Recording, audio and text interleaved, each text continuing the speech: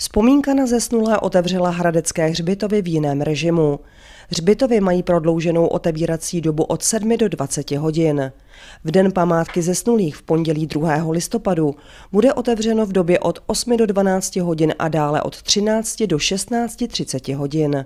Městská policie nabádá občany, aby si dávali při zvýšeném počtu lidí na hřbitovech pozor. Měští strážníci v podstatě už koncem října konají nepravidelné pochůzky po těch eh, městských hřbitovech, těch největších, určitě na Kuklenském hřbitově a na Lesním hřbitově eh, v Malšovicích. V podstatě se jedná o to, že ne každý přichází v dobré víře na hřbitově vzpomínat, ale jsou i tací, kteří toho využívají a přicházejí eh, tam třeba obtěžovat lidi nebo různě tam dochází k různým přestupkům, které by jinak nebyly. Posilovat v těchto dnech bude spoje i dopravní podnik města Hradce Králové. Městská hromadná doprava bude o dušičkách jezdit v častějším režimu, to znamená, že i pokud bude potřeba, tak například do Kuklen budou vypraveny kloubové vozy na lince číslo 4. Spoje jsou posíleny například k lesnímu hřbitovu.